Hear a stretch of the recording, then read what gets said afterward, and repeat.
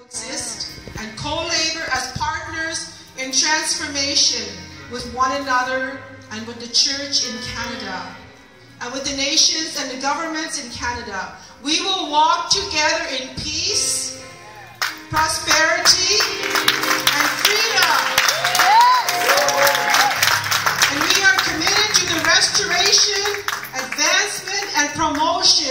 in the moral and spiritual and political integrity of our society and to the release for all from a negative past.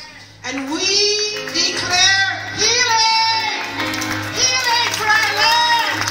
And revival in Canada!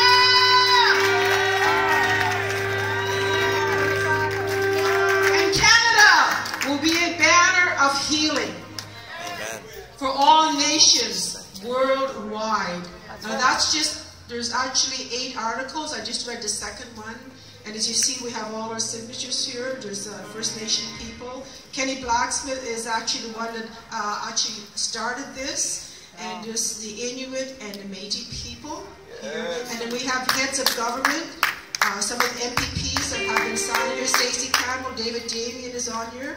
Um, some of the uh, Harry Harold Albrecht, uh, James uh, Lunney, those are MPs. And I believe, I, I'm not sure, Michael Gertzwood is on here. So I'm just going to bless you with this, Pastor Alex. And, and you know, you can keep it up, you know, keep it whatever you want. And just, it's a, you know, it's a blessing to you to state that this is actually, actually a revival started.